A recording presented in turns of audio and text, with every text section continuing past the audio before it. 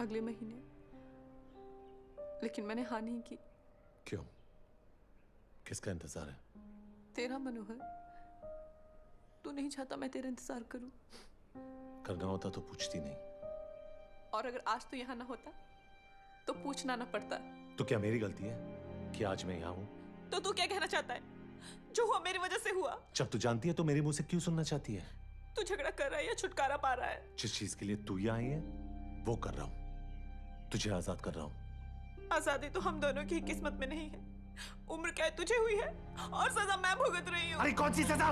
खुली हवा में सांस लेने की किसी और मर्द के साथ घर बसाने की जो सपने हमने देखे थे किसी और के साथ गुजारने की।